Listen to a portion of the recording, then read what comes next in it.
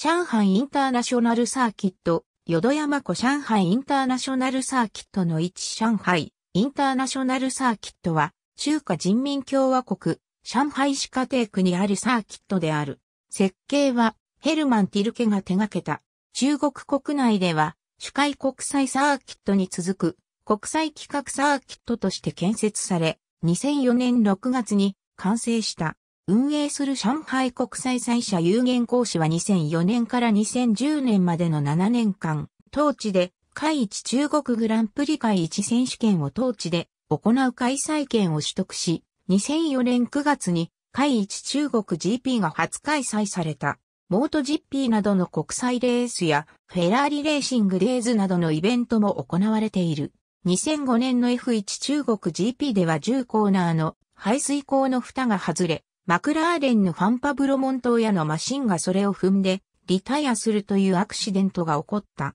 2010年には FIA に対して2011年以降の開催、再承認申請を行っていたが、ターン1、ターン8、ターン14で地盤沈下が生じていることが指摘された。その後回収作業を行い、2017年まで開催権を延長することが承認された。また、地盤沈下回収工事以外にもサーキットの排水能力を高める工事も行っている。2017年9月に開催契約が2020年まで延長された。コース前景は漢字の上の字をモチーフにしていると言われているが、ティルケは、それは偶然の産物、コースのデザインを終えて、中国の人たちに見せたら、その形が上海の城の字に似ていたため、とても喜んでもらえたんだ。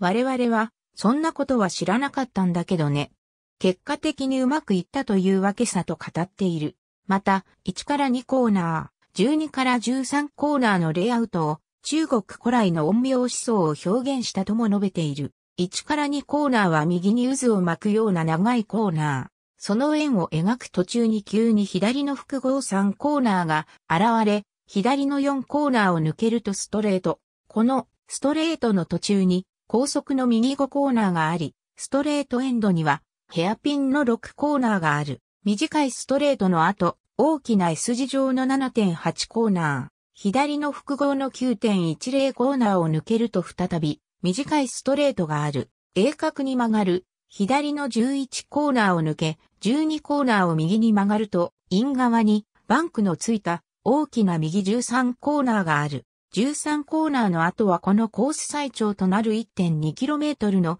ストレートで、ストレートエンドにあるヘアピンの14コーナーが最大のオーバーテイクポイントとなる。ヘアピンから右の15コーナーを抜けると、短いストレートの後、最終の左16コーナーを経て、ホームストレートに戻る。ありがとうございます。